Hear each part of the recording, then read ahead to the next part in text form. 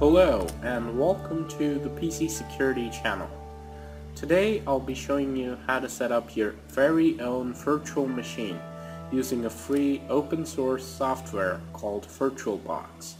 So first of all what you need to do is you need to go to uh, virtualbox.org or FileHippo and download their latest version which is 4.3.20.96996 and uh, once you have it and uh, install it you'll see something like this. So a very simplistic user interface and what you need to do here is click on new. So now you get to choose the name of your virtual machine. Now let's name it something. So I'm just going to call it lab rat because I do all my tests on it then you can select which kind of operating system you want to install. If it's a Linux virtual machine, make sure you're selecting Linux over here. But I'll be doing it for Windows, so Microsoft Windows. Then the operating system that you plan to install. I'll be installing Windows 8.1. Then you get to select what memory your virtual machine is going to have. Now this depends on your host memory configuration and also basically how much memory you would need. Now for most purposes I would recommend setting this at around 2048 or 3096 because um, that seems to be like the sweet spot for most people. Now keep in mind if you set this way too high what's going to happen is your virtual machine is going to use a lot of memory and that might cause issues on your host machine because the software needs to run on your host machine, right? And if, you, if your host machine is running out of memory, you might experience data loss, even VirtualBox may crash if you allocate this way too high. So basically what you should do is find a nice balance between performance on your host machine and performance on your VirtualBox machine. So if you've got like 16 gigs of RAM, you can go for around 4 gigs, 5 gigs, maybe even 6, but I wouldn't recommend pushing it too far. Now I've just got 8 gigs of RAM, so I'm going to just select 3096 over here. And we're going to proceed. The next important thing is to create your virtual hard drive.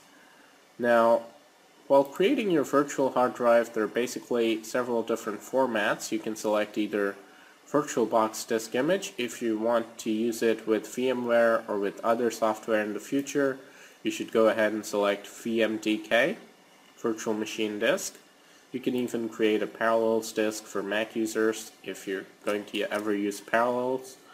But I'm just going to select VDI because um, I only ever use VirtualBox. Now there are two kinds of storage. Um, you can have it to be fixed or dynamically allocated. Now if you have fixed storage, what happens is that you get a single file and that file is basically the size of your hard drive and uh, it stays that way all the time. So let's say you have nothing on your virtual machine, it's just empty, but it's still going to take up the 20 gigs or 30 gigs that you've allocated to it. But if you select dynamically allocated, what's going to happen is it's going to take up space based on how much you actually put in your virtual machine. So this is way better for people who um, don't have a lot of hard drive space and also don't use a lot of hard drive space, which is going to be my case. So I'm going to select dynamically allocated.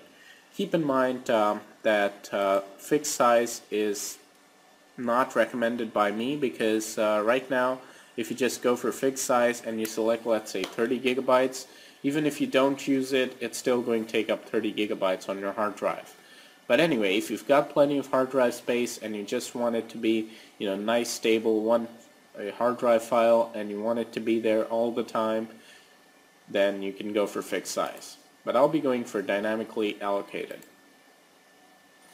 So now we get to select our hard drive size so I'm going to go ahead and hit, uh, well, 25 gigabytes, but we'll make it 20 for us. And now we just hit create. And there you go. We've got our very own virtual machine. But now what I'm going to do is I'll go into settings and choose exactly what kind of virtual machine I want. So as you can see, uh, we've got our name here, our operating system, and version. Under the Advanced tab, now here's something really nice. We've got Shared Clipboard and Drag and Drop. What these things do is if you select Shared Clipboard and drag and drop, you can basically, let's say you copy a link on your host machine you can just directly go and paste it on your virtual machine. Now for that to happen, you either have to set it to host to guest or bidirectional.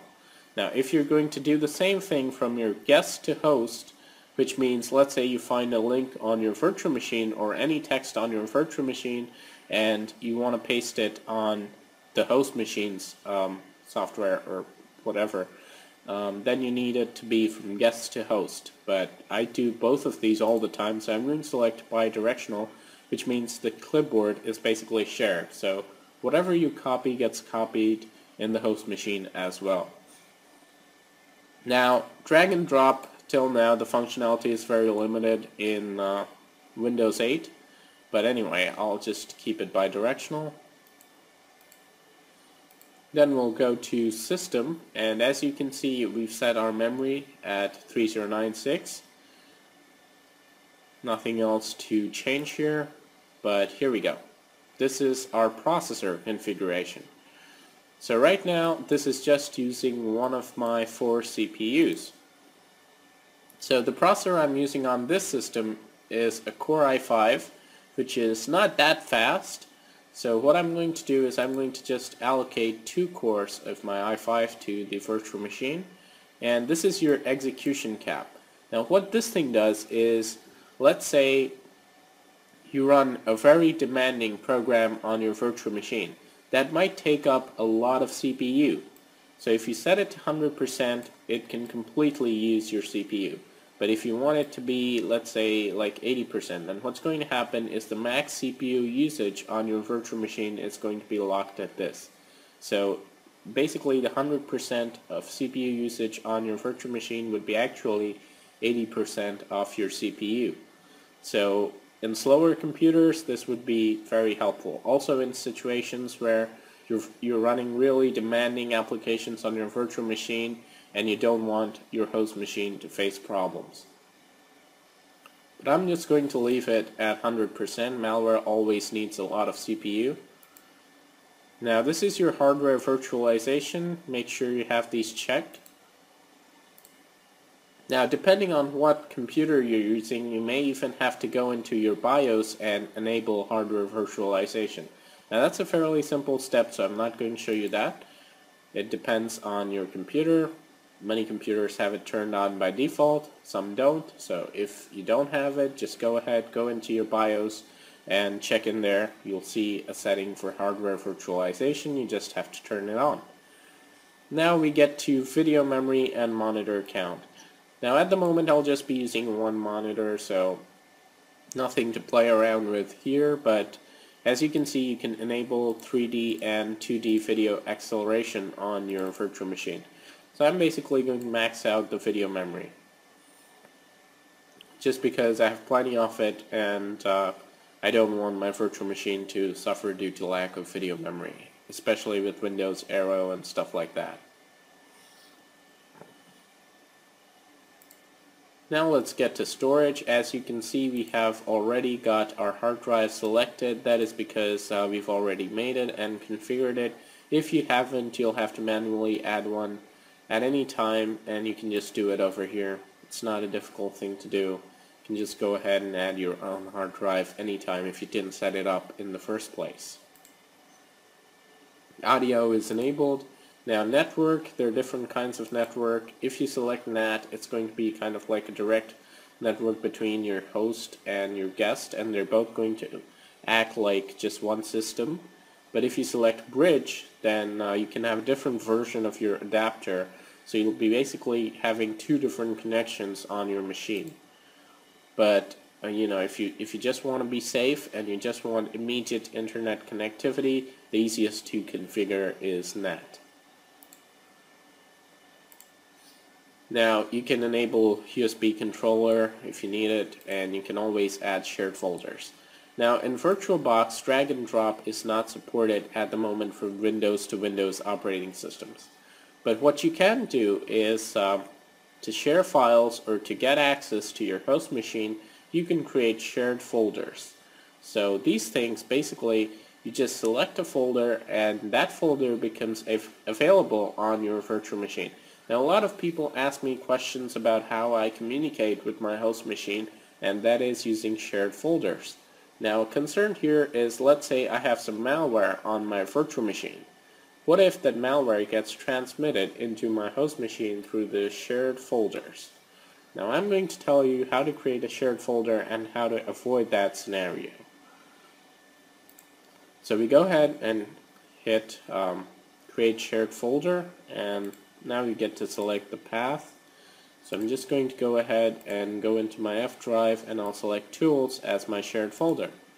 So now, when I go into my virtual machine, Tools is going to be there as a separate drive.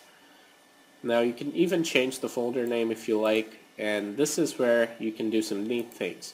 Now I, I always check read-only and auto-mount.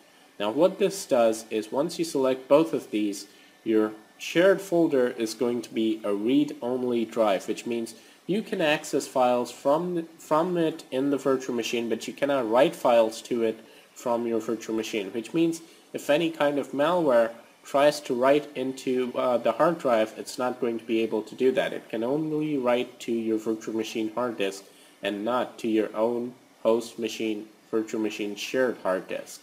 So if you're planning to do malware testing or anything like that, I highly recommend you make your shared folders read-only so that there is only one-way access and there's no chance of being screwed up by malware. So this should be fairly simple. Once you set it up, you should see this folder when you boot into your virtual machine. So there we go. We've completed configuring LabRat, and you can complete configuring any virtual machine you want and once you're all set you can go ahead and click start.